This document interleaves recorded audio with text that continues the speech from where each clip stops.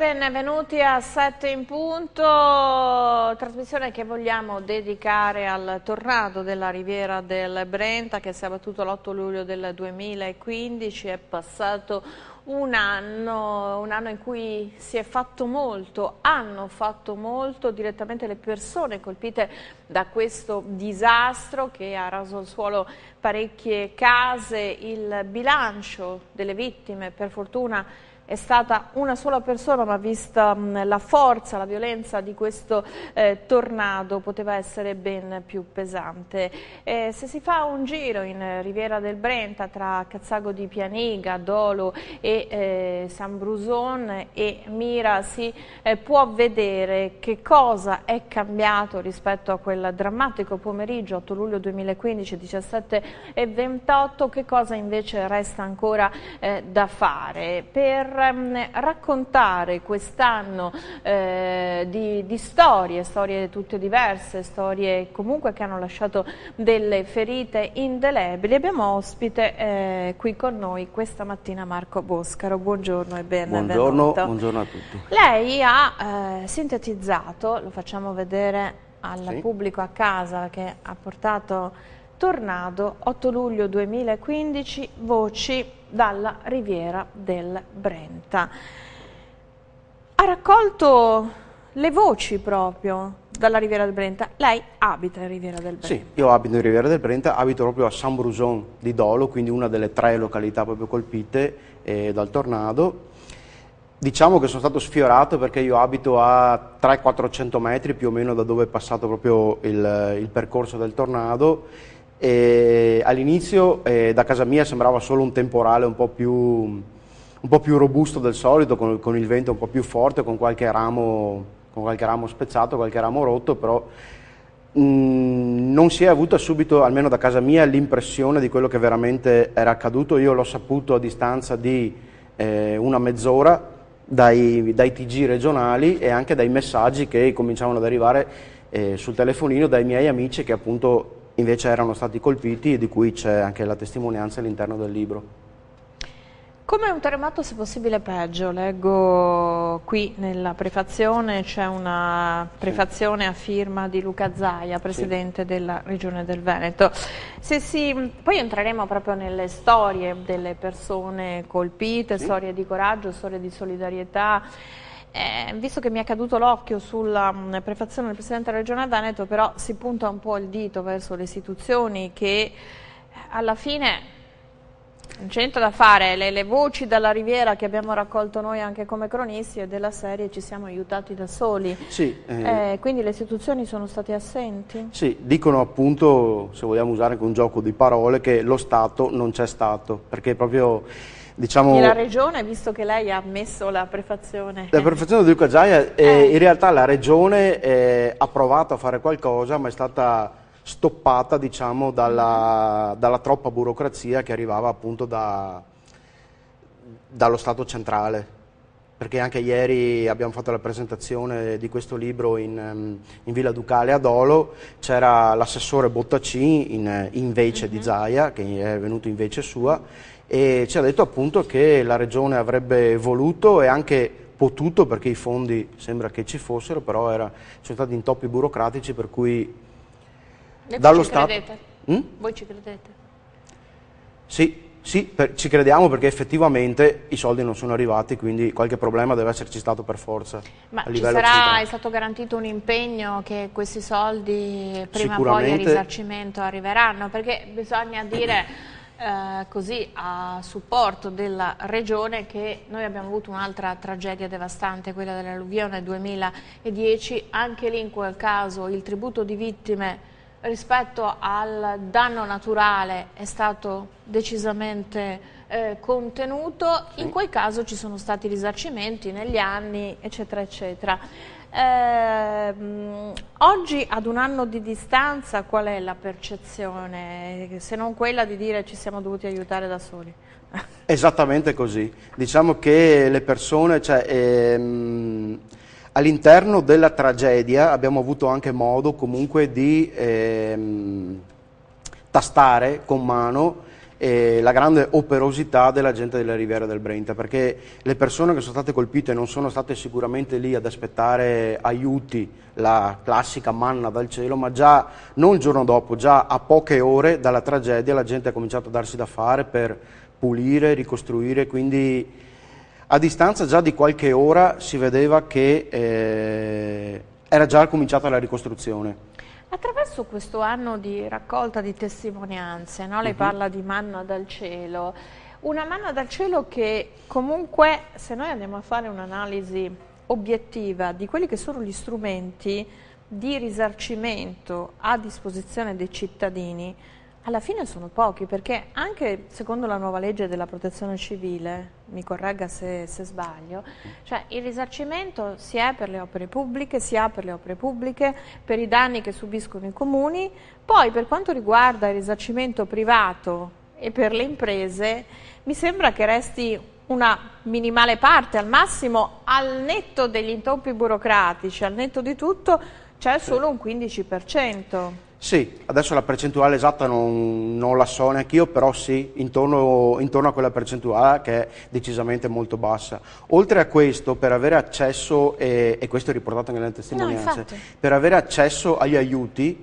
bisognava eh, diciamo, mh, avere delle spese burocratiche a volte anche superiori a quello che sarebbe stato eh, l'effettivo risarcimento. Quindi molti non hanno nemmeno presentato la domanda perché eh, cioè in parole povere non costava di più pena. presentare la più. domanda esatto. che, che, che, che, ottenere quei soldi di ristoro. Esatto, sì. E tra le testimonianze che sono raccolte all'interno del, del, del suo, libro ci sono quelle dei sindaci del territorio sì. coinvolto. Questi sindaci eh, hanno anche provato a fare, io ricordo, insomma, perché noi da cronisti abbiamo vissuto no, sì. insieme a voi, abbiamo cercato di darvi voce, ma al contempo abbiamo cercato anche di fare da cassa di risonanza, di pungolare certo.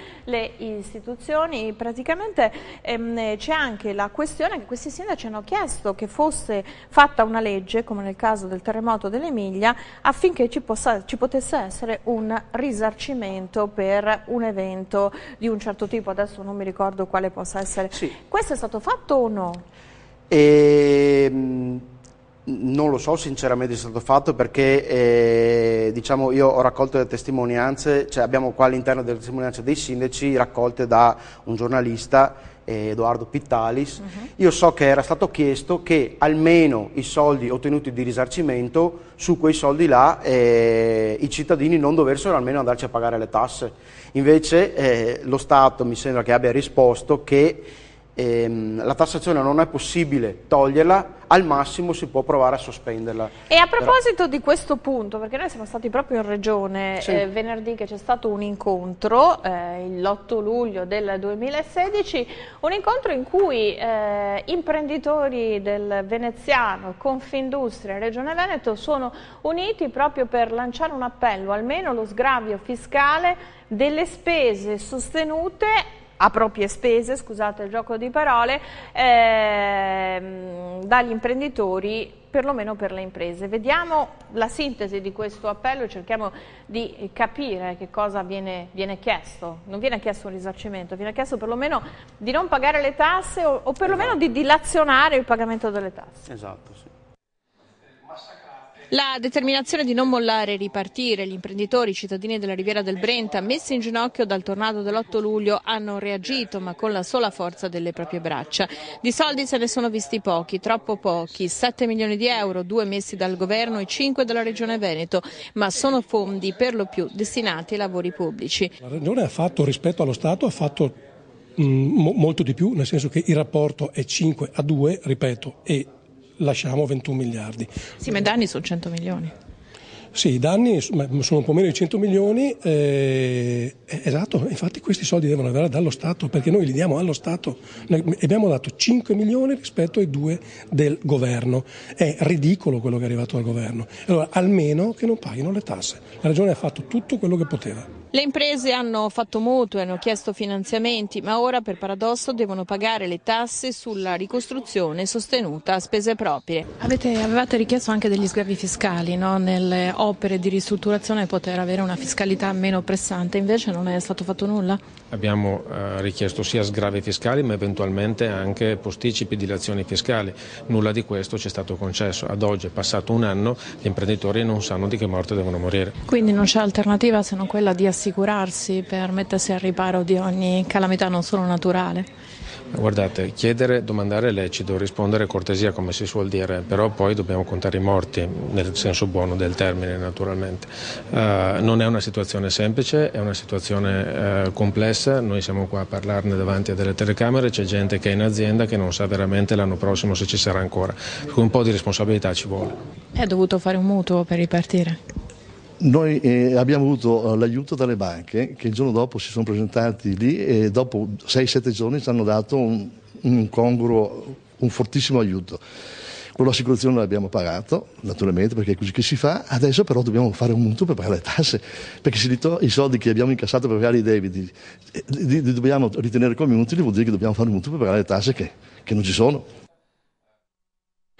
Quindi abbiamo sentito quali sono le istanze, le richieste, mm, eh, tanto per delineare un po' qual è la situazione. Si diceva però che eh, se uno transita eh, nelle aree colpite dal tornado vede un grande fermento, una grande ricostruzione e eh, questo però bisogna continuare a sottolinearlo, frutto, ripeto, di chi è stato colpito che ha dato fondo ai risparmi, ha chiesto aiuti ai propri familiari e poi questa catena di solidarietà eh, che si è veramente mh, scatenata, una solidarietà che non ha potuto contribuire con il denaro, ha contribuito con la forza delle proprie braccia, la cosa che aveva colpito il giorno stesso dell'evento, tutti eh, si sono prestati a dare una mano, anche contravvenendo a quelle che potevano essere le, le, norme, di le norme di sicurezza, per cui c'erano anche i vigili del fuoco e la protezione civile eh, che doveva cercare di coordinare questa, sì. questa valanga di volontari. E hanno dovuto anche un po' frenarli per dovere istituzionale alla Esattamente, fine. Esattamente, però eh. devo dire che tutto si è svolto in una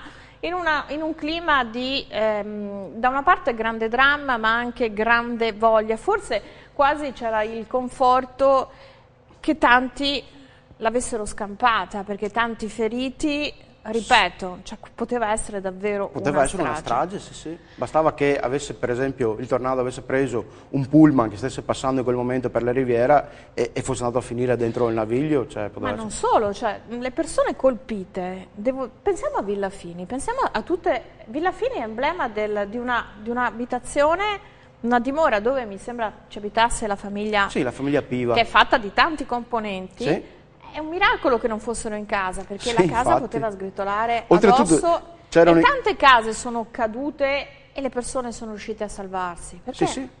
Eh, cioè, poteva, essere, poteva, essere, veramente una strage, il tributo in termini di vite umane poteva essere veramente molto molto peggiore, anche se comunque eh, c'è, stata una vittima. stata una vittima e, e il dramma c'è stato comunque, perché che, si, che ne muoia, muoia, una persona, che ne muoia 100, comunque il dramma c'è comunque. Lei beh, ha raccolto le voci in questo sì. anno. Io vorrei con lei proprio eh, addentrarmi per capire quali sono le storie, perché anche noi l'abbiamo fatto lontano dai riflettori e anche noi abbiamo raccolto storie magari di bambini che hanno paura appena c'è una goccia d'acqua eh, perché eh sì. rimasti traumatizzati, di persone che appena vedono il cielo nero eh, sono spaventate, di storie che comunque persone che non, che non, riescono a dormire, cioè è una situazione che lascia il segno di chi avrebbe certo. voluto scappare da quella casa però sì. non può farlo, di chi invece vuole rimanere perché, sì. perché è una questione eh, di, di, di, di, legame alla propria casa. Anche perché quella casa se l'era costruita cioè, nell'arco di una vita intera come per esempio la testimonianza che è stata la prima che ho raccolto di Stefano Favretto, uh -huh. che lui aveva una casa meravigliosa che se l'è costruita nel corso degli anni lui tre minuti prima aveva una, la sua casa che ci ha messo una vita a costruirla e dopo tre minuti non aveva più niente, cioè aveva la, la casa rasa al suolo. solo il pian terreno. Adesso sta risistemando il pian terreno, tra, entro luglio-agosto dovrebbe rientrare, però Cioè, anche in questo sbaglio, caso ha fatto tutto lui. E se non sbaglio, la storia di Stefano Favretto, perché ce ne siamo occupati anche noi, sì.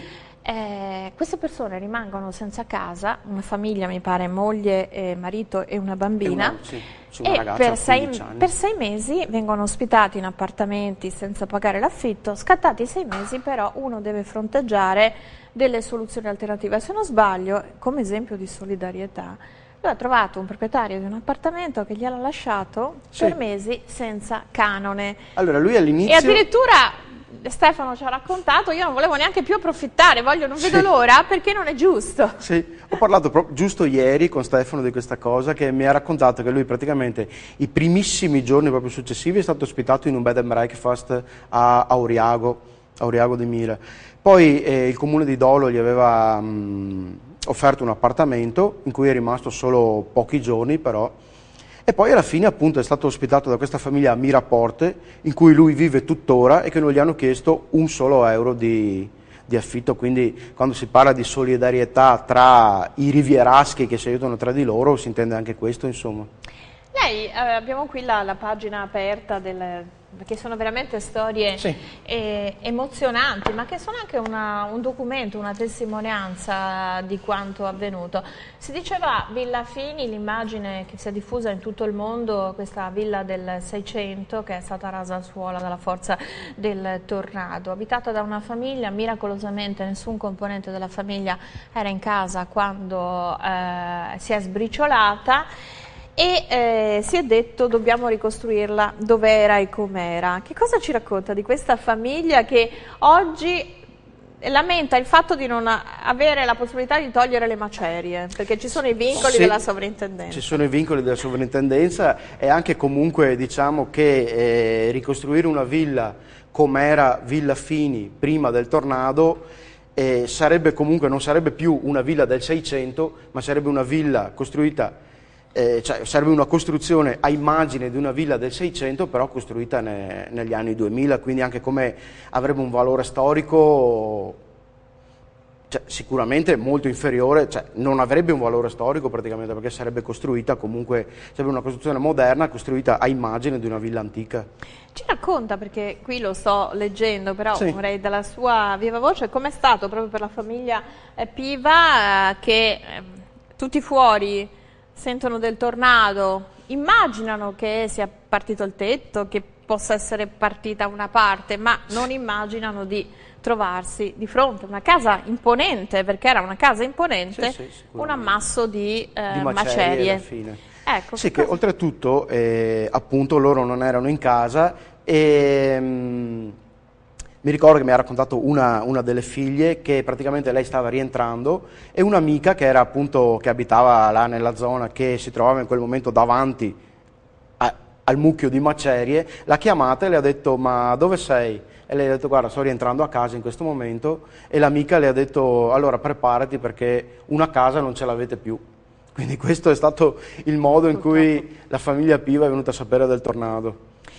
E oggi li ha rincontrati perché le sue testimonianze sono testimonianze raccolte nell'immediato dell'evento o in qualche modo anche aggiunto alle, alle, considerazioni fatte sul momento anche delle riflessioni raccolte ad un anno A di posteriori. distanza? Sì. sì. Allora io ho alcune testimonianze che le ho raccolte subito immediatamente appena successo a distanza di pochi giorni o al massimo di poche settimane che sono rimaste diciamo così come le ho raccolte. Invece ci sono altre testimonianze di altre persone che sono comunque all'interno del libro che poi io a distanza, a distanza, di qualche mese, quindi pochi mesi fa, sono andato a risentirle.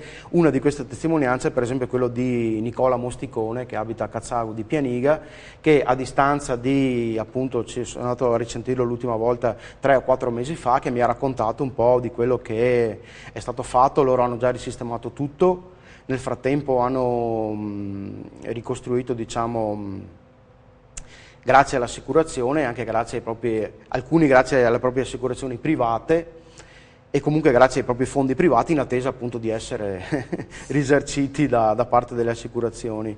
Comunque le assicurazioni sì. che però eh, funzionano per le imprese perché il privato oppure le assicurazioni, perché poi nacque anche una riflessione no, in eh, prossimità e forse anche questo è l'aspetto eh, corale che un po' tutti i veneti, ma probabilmente anche tutti gli italiani, quando capita una cosa di questo genere, non è che dice è capitato a te, non capita a me, cioè può capitare a chiunque, quindi anche informarsi, esistono delle assicurazioni per le calamità naturali, cioè a, facendo questa, questa raccolta di, di, di, di voci, quanti innanzitutto quanti si possono anche permettere un'assicurazione sulla casa e esatto. quanto esiste la possibilità di assicurarsi per una calamità naturale?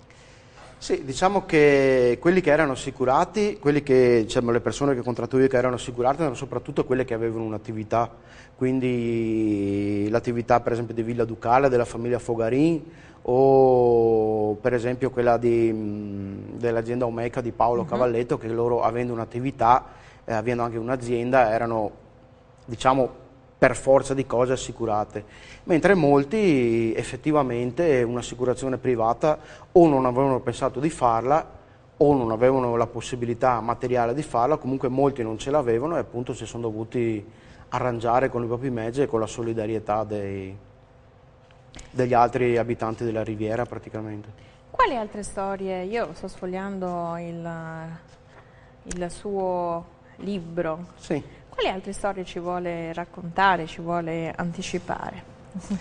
Allora, diciamo che... Aspetti la fermo perché il mio collega mi segnala giustamente che devo dare spazio alla pubblicità. Torniamo tra un paio di minuti ancora a raccontare la Riviera del Brenta, quell'area colpita dal tornado l'8 luglio del 2015. A tra pochissimo, grazie.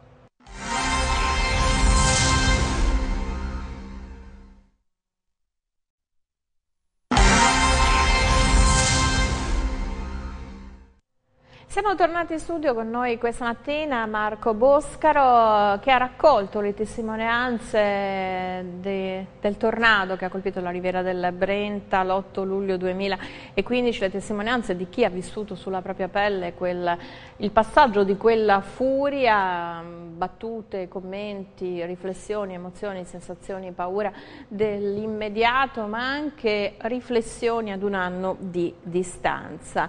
Le voci della Riviera del Brenta, lei ha intitolato sì. il suo volume. Prima eh, stavamo parlando appunto di, ha raccontato casi relativi alle imprese, relativi ai sì. privati. Vorrei che appunto lei desse voce a queste voci che ha sintetizzato all'interno di questo eh, libro, le ha raccolte così man mano che, che, che, che le incontrava queste voci, non c'è sì. una logica, non c'è una... No, diciamo che non ho usato una è un discriminante. Documento, di... È un documento. Esatto, è un documento in cui ho cercato di dare voce un po' a tutti, quindi al comune cittadino, al, all'imprenditore senza, ripeto, usare un, un, criterio, una discriminazione, ma cercando di variegare anche un po', diciamo, Storia di emozioni. Storia di emozioni, sì, perché ognuno comunque la vive a proprio modo, cioè se noi andiamo a sentire anche altre persone che non ci sono all'interno del libro, chiaramente io non ho potuto raccoglierle tutte, ognuno eh, ha vissuto la tragedia a suo modo. E ognuno aveva anche diritto poi a, eh perché certo. non è stato un, una, uno zefiro che ha sollevato una foglia. Eh no. Se lei dovesse, insomma, le, le, le, le storie anche di, di, di, di, reazione, di forza eh, o anche di, disperazione che ha acquisito, che cosa, cioè, quello che le rimane più impresso, che l'ha colpita di più? Quello che mi ha colpito di più è stato comunque il fatto che io, tutte le persone che ho sentito non si sono fermate a piangersi addosso, a disperarsi e a dire adesso cosa faccio, però tutti quanti indistintamente sono partiti già con la ricostruzione già a poche ore dal, dal disastro praticamente. Quindi questo mi ha colpito molto che appunto la gente non si è fermata a piangersi addosso ma è partita subito grazie anche all'intervento dei numerosissimi volontari che già da, dal giorno dopo si sono mobilitati da tutta la riviera, è stato proprio questo senso di, di rimboccarsi subito le maniche che fortunatamente è insito un po' nel, nel DNA della riviera. Perché è insito nel DNA della Riviera? Si dice che è insito nel DNA dei Veneti, lei invece fa un distinguo per quanto riguarda... Lei no. è nato e cresciuto in Riviera del Brenta, ci sì. sono delle...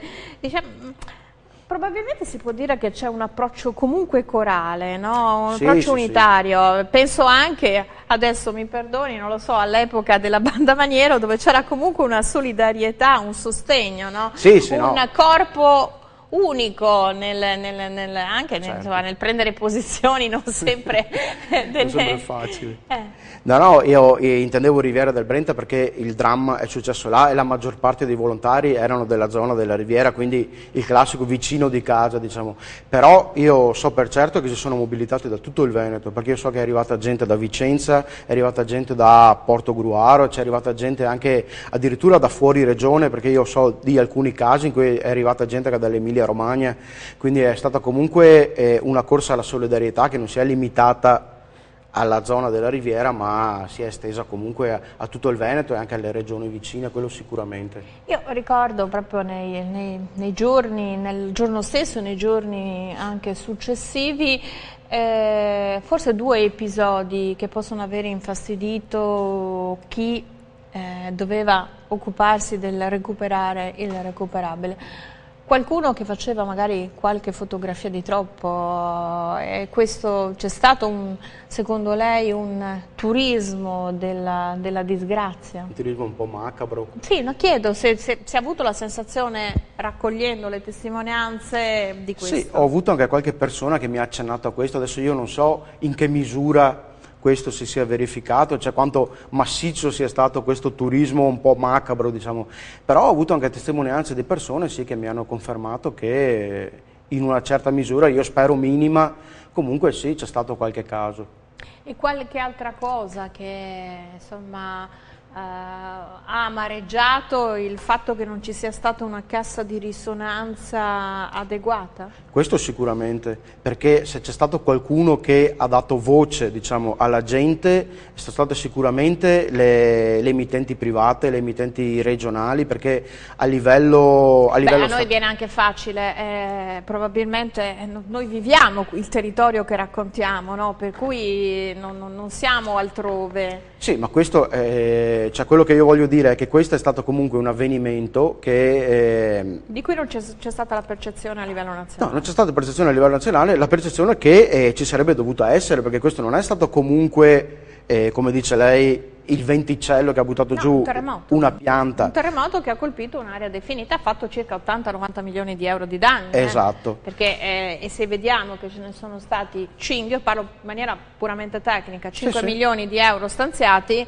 a fronte di 80 milioni di danni, francamente qualcosa, qualcosa non, non, torna. Sì, e... e... oltre che a livello economico, questo c'è stata una ripercussione anche a livello dei media, perché eh, ripeto che eh, a livello nazionale i TG nazionali quasi non ne hanno parlato, addirittura gente, che ha saputo di, gente delle zone nostre che ha saputo di questa tragedia dalle tv straniere o dalle tv regionali, cioè io personalmente l'ho saputo dalle tv regionali perché l'ho visto a distanza di mezz'ora da, da, quando era successo, io ho visto che appunto i TG nostri locali ne parlavano e ripeto, alcuni imprenditori che avevano contatti con fornitori stranieri che sono venuti a saperlo dalle tv straniere.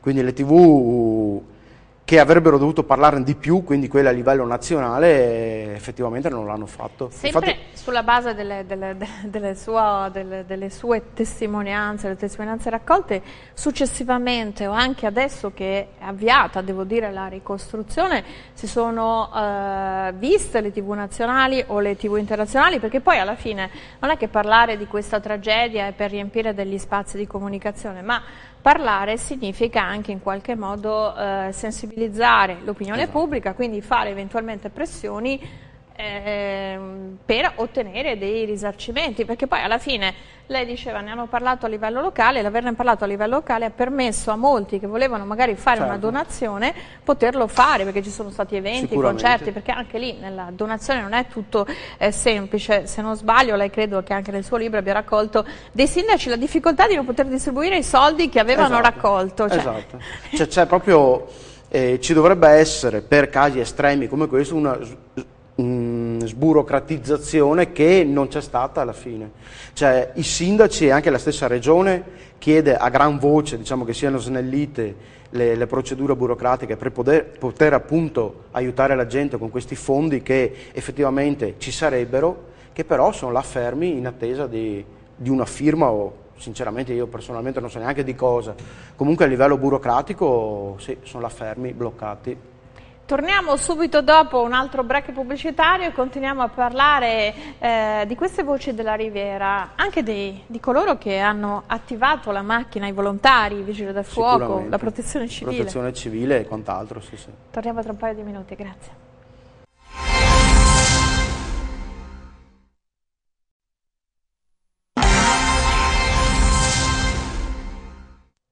Siamo tornati in studio con noi Marco Boscaro, tornando 2015, 8 luglio 2015, voci dalla Riviera del Brenta. Lei ha raccolto le voci della Riviera del Brenta anche per dare voce, no? si diceva prima di andare in pubblicità che sì. eh, non c'è stata un'adeguata cassa di risonanza Infatti. nazionale e oggi probabilmente anche il suo, il, suo, il suo, libro vuole essere uno stimolo per sensibilizzare e dire c'è stato un terremoto, quindi anche se ha colpito un'area circoscritta però l'ha colpita in maniera pesante. In maniera molto pesante, infatti come ha detto lei questo libro nasce anche per dare una voce mh, il più possibile estesa, il più possibile anche a livello nazionale a, a, queste persone che sono state colpite che è quello che non hanno fatto appunto i grandi TG. Infatti ieri quando abbiamo fatto la, la presentazione in Villa Ducale del libro, che era presente anche l'assessore Bottaccini, lui ci ha detto che gli piacerebbe che questo libro potesse essere appunto un mezzo per portare la voce di queste persone anche a livello nazionale per fare conoscere veramente la tragedia che c'è stata, perché la gente che non l'ha vissuta in prima persona non può capire effettivamente la portata della tragedia. Cioè, eh, bisogna, mh, bisogna viverci dentro, bisogna andare a raccogliere le voci della gente come eh, come ho fatto io, cioè io ho scelto appunto di andare direttamente dalla gente, parlare direttamente insieme con la gente perché eh, sono le persone colpite che possono veramente eh, dare un'idea, anche se poi uno un'idea non ce l'avrà mai. No, perché c'è anche condivisione, c'è magari più disponibilità a sfogarsi con una persona che è il tuo vicino di casa esatto, piuttosto certo. che con un giornalista che magari viene visto sempre come colui che racconta le cose per una finalità di, di audience. Sì, questo, come una presenza esterna. Questo anche. non vale per noi perché noi siamo sempre stati accolti, parlo di tv locali, giornalisti locali, sempre stati accolti come gente che tra l'altro poi viviamo in questi territori, viviamo in Siamo Veneto. noi stessi cittadini. esatto, eh, per sì. cui prima, il nostro primo ruolo è quello dei cittadini. La, um, il ricavato della vendita di questo libro servirà anche in parte ad aiutare... Sì, una parte del ricavato appunto della vendita di questo libro verrà devoluto ai comuni che